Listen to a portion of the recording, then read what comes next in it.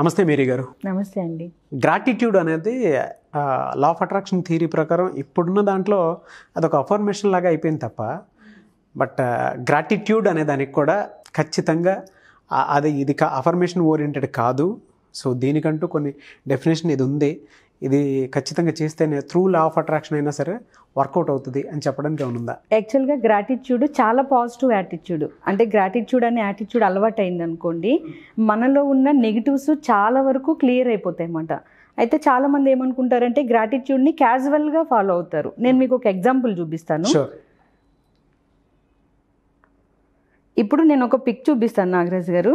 So దీన్ని మీరు చూసిన తర్వాత మీ మీ ఫీలింగ్ ఏంటి అనేది జస్ట్ అలా షేర్ చేయండి. యాపిల్ అండి సో మీకు ఇక్కడ ఏం కనిపిస్తుంది?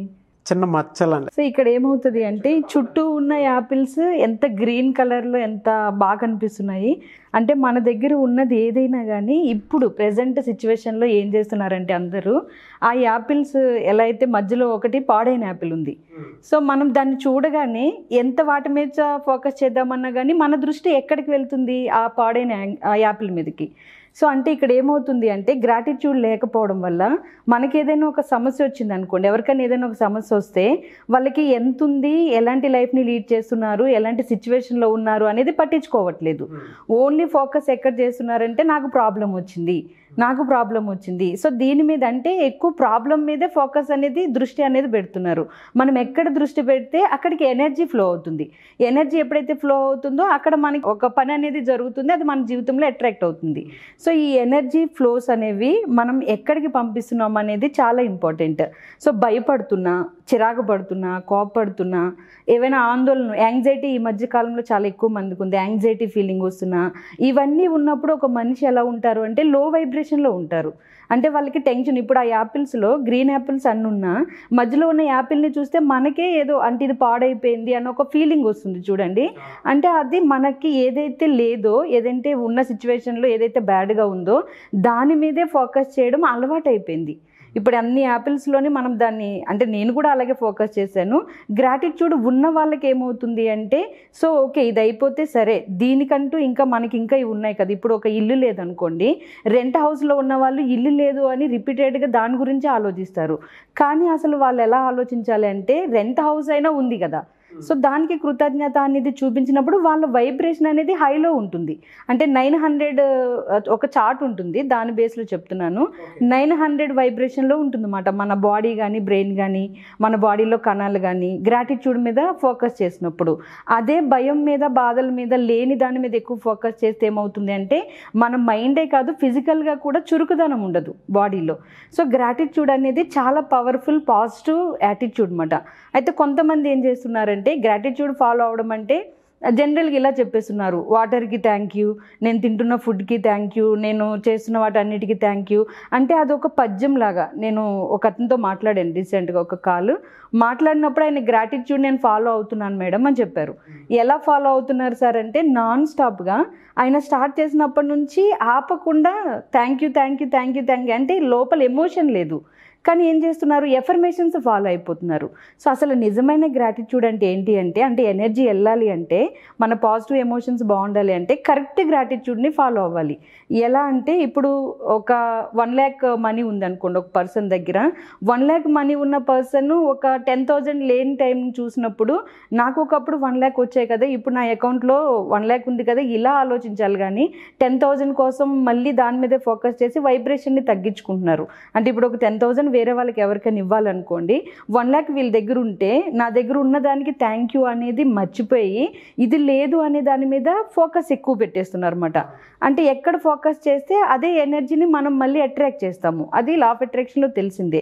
సో గ్రాటిట్యూడ్ అనే ఒక్క యాటిట్యూడ్ అనేది అలవాటు అవుతే దీని మీద చాలామంది సైకాలజీ పర్సన్ చెప్తారు. చాలా పవర్ ఉంది గ్రాటిట్యూడ్కి అయితే అది రిలేషన్స్లో ఇప్పుడు మ్యారేజ్ కాని వాళ్ళని తీసుకున్నాం అనుకోండి ఎగ్జాంపుల్గా మ్యారేజ్ అవ్విన వాళ్ళకి వైఫ్ వాల్యూ తెలీదు. కానీ మ్యారేజ్ కాని వాళ్ళకి అర్థమవుతుంది వైఫ్ వాల్యూ ఏంటి అనేది. సో అంటే అక్కడ లేని దాని మీద ఎక్కువగా ఫోకస్ చేసి ఉన్న ప్రాబ్లమ్ని హైలైట్ చేసి ఎవరైతే చూస్తారో వాళ్ళకి ల్యాక్ ఆఫ్ గ్రాటిట్యూడ్ అనమాట అంటే గ్రాటిట్యూడ్ అనేది లేదు. ఒకవేళ ఉన్నా దాన్ని వాళ్ళు గుర్తించట్లేదు అని అర్థం. సో పాజిటివ్ వైబ్రేషన్ బాగుండాలి అంటే నెగిటివ్ ఎమోషన్స్ అన్నీ కూడా క్లియర్ అవ్వాలి అంటే మన మైండ్లో గ్రాటిట్యూడ్ మీద కరెక్ట్ ఫోకస్ చేయాలి. అంటే ఒకటి మన లైఫ్లో ఉంది అనుకోండి ఇప్పుడు హౌస్ సొంత ఇల్లు ఉంది అనుకోండి జనరల్గా ఏమవుతుందంటే అండి మనం ఏదైనా ఒక దాని మీద ఫోకస్ చేసినప్పుడు లేని దాని మీద ఫోకస్ చేసి అదే పనిగా ఫోకస్ వెళ్ళిపోతూ ఉంటుంది. సో ఉన్న వాటిని మనం మర్చిపోతూ ఉంటాం. లేనిది అడిగే కొద్దీ మన మైండ్లో వైబ్రేషన్కి తీసుకువెళ్తుంది.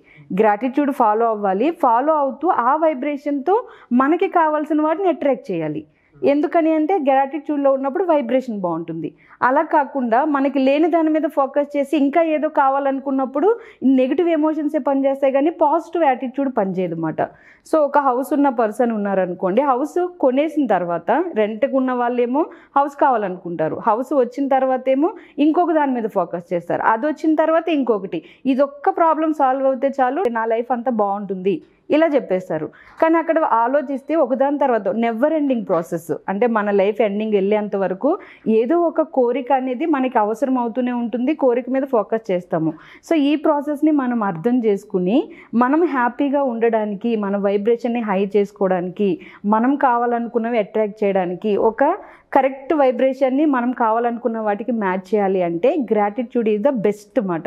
సో ఎప్పుడైతే గ్రాటిట్యూడ్ అలవాటు అవుతుందో ఆటోమేటిక్గా వైబ్రేషన్ అనేది హైలో ఉండడం వల్ల ఈ కోపాలు చిరాకు ద్వేషం ఇవన్నీ కూడా వాటిని వాటంతట అవి నియంత్రించగలుగుతారు సో గ్రాటిట్యూడ్ అనేది ఇంత పవర్ఫుల్ అయితే దీన్ని ఎలా ఫాలో అవ్వాలి అంటే ప్రతి ఒక్కరి లైఫ్లోని చాలా ఉంటాయి నాగరాజు గారు. అంటే అందరికీ అన్నీ ఉంటాయి కొంతమందికి కొన్ని ఉండకపోవచ్చు. కానీ మనం ఏం చేస్తామంటే లేని వాటి మీద ప్రాబ్లం మీద ఫోకస్ చేస్తాము. సో మనకు ఉన్న వాటిని ఇప్పుడు ఒక హౌస్ క్లీనింగ్ చేయలేని ఒక పర్సన్ ఉన్నారు అనుకోండి లేడీస్ జాబ్ చేసేవాళ్ళు హౌస్ క్లీన్ చేయలేకపోతున్నాను అని బాధపడతారు కదా. సో నిజానికి అలా బాధపడే కంటే హౌస్ ఉన్నందుకు హ్యాపీగా ఫీల్ అవ్వాలి. వాళ్ళ టైం ఉన్నప్పుడు దాన్ని ప్రాబ్లమ్ని కాకుండా సొల్యూషన్ మీద ఫోకస్ చేసుకోవాలి. ఇలా సొల్యూషన్ మీద ఎవరు ఫోకస్ చేయగలుగుతారంటే గ్రాటిట్యూడ్ ఉన్న వాళ్ళు నాకు ఇల్లు ఉంది అంటే రెంట్ హౌస్ అయినా ఓన్ హౌస్ అయినా నాకు ఇల్లు ఉంది సో దీంట్లో నేను ఉండగలుగుతున్నాను అంటే దానికి గ్రాటిట్యూడ్ చెప్పాలి. సో అలాగే మ్యారేజ్ కాని వాళ్ళకి వాల్యూ తెలుస్తుంది అన్నాను. మ్యారేజ్ అవ్విన వాళ్ళు వైఫ్ పట్ల గ్రాటిట్యూడ్తో ఉండాలి.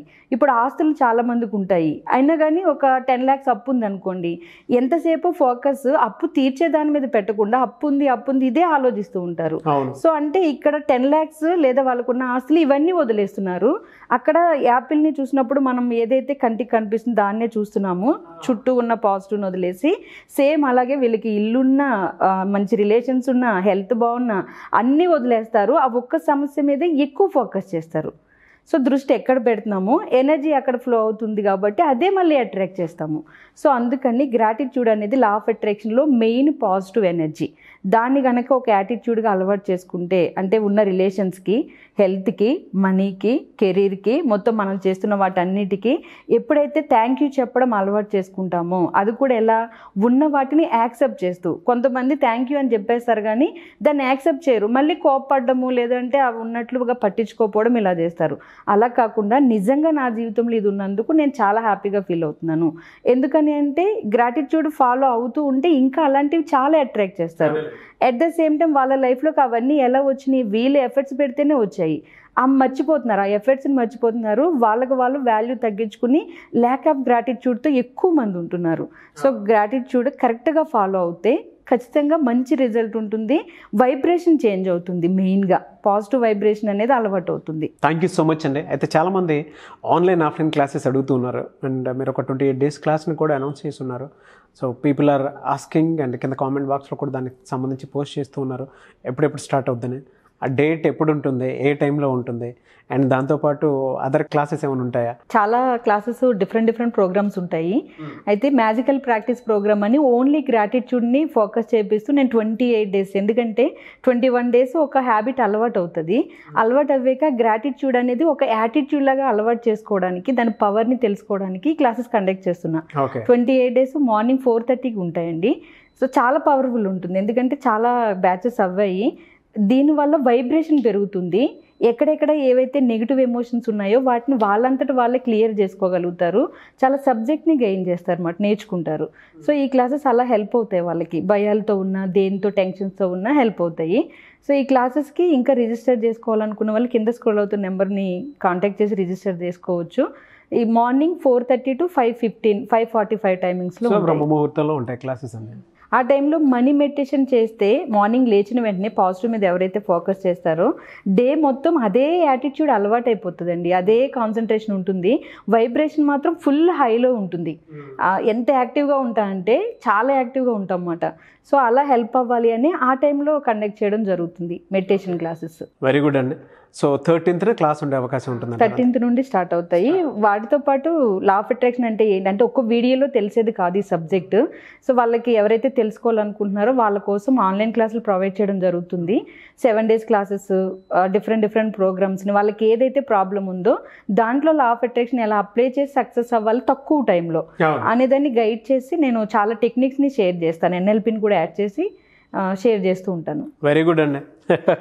చాలామంది లా ఆఫ్ అట్రాక్షన్ థియరీలోనే అఫర్మేషన్స్ విజువలైజేషన్ టెక్నిక్స్ గురించి తెలుసుకోవాలనుకునేటువంటి వాళ్ళు ఉన్నారు.